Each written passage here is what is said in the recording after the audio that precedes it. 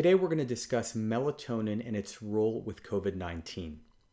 So, your sleep and schedule have a major impact on immunity. And the rhythm of how your hormones are released during the daytime and nighttime, we call that your circadian rhythm. And melatonin is a critical hormone that's involved with your circadian rhythm. And we often call it the vampire hormone because it's meant to rise at nighttime and fall in the morning. So when sunlight hits your eyes, it basically blocks the release of melatonin, which is what we want because it's a sleep promoting hormone. And in the nighttime, as we get away from light, artificial sources, and sunlight, then melatonin starts to rise in our body. And that's the optimal thing that we want to happen. Now, how is this related to COVID 19? Back to my diagram here from COVID number one. So when COVID-19 basically replicates inside, let's say, our lung cell, it can trigger that cytokine fire, specifically due to a protein called NLRP3. Now, melatonin, interestingly, think of it as being a hose. It can actually pour water on the cytokine fire. It can tame that NLRP3 flame so we don't get as much excess cytokine toxicity to the cell, which can literally destroy and kill the cell itself. So really, when you think about melatonin's role, it's got major roles with the immune system and overall, overall well-being. Number one, it regulates sleep and circadian rhythm. The second thing we talked about is it tames or turns down NLRP3. And the third thing it also does is it actually has antioxidant action.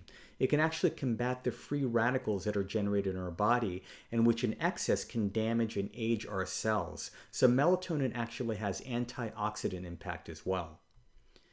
So, how do we naturally preserve melatonin in our body? This is all about schedule. It's all about schedule and light. So, when you wake up in the morning, it's a good idea to get some form of physical activity or exercise, preferably outdoors. The second thing is if you're not getting an exercise, which you should get, at least make sure you're getting some morning daylight exposure. And also try to get some exposure around noon or solar noon. The other thing is we're finding through studies that we need to finish our meals earlier. So in general, try to finish by 7 p.m., 7.30 latest. But when you start eating beyond that period, a lot of my patients who eat at 8, 9 p.m., that can also disrupt our circadian rhythm and melatonin production. Shut off those blue lights that are coming from our digital devices, computers, smartphones, LED TVs, etc. And do that at least 90 minutes before um, bedtime. Two hours would be even better. And finally, remember that eating, sleeping, exercising at these consistent times, keeping your schedule as consistent as possible, is going to help with natural melatonin production. If you absolutely have to do any digital work at nighttime, I put a couple of images of different strategies you can use. You can do the orange goggles, you can download the f.lux software onto your desktop device, or if you've got an iOS device, just make sure to flip it onto night shift mode.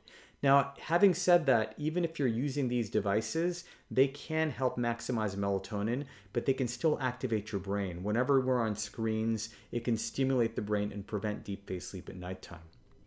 So I know your next question is going to be, why can't I just take a supplement and not have to deal with all this other stuff that we just talked about? Now, first keep in mind that there is theoretical but no proven scientific benefit that melatonin can have any impact on COVID 19 cytokine release. So that has not been studied or proven as of recording this video. We want to, whether you take melatonin or not, you absolutely have to prioritize the lifestyle measures we discussed. Supplementation may or may not help, but make sure you stick to the lifestyle things that we talked about regarding your natural schedule. And then talk to your health practitioner. If you feel like melatonin might benefit you, talk to your health practitioner who will be up to date on the guidelines. And typically, you want to start with the lowest dose possible, taken around 30 minutes before bedtime. For my resources, download my free COVID ebook, subscribe to my YouTube Covideo series, and follow me on Instagram.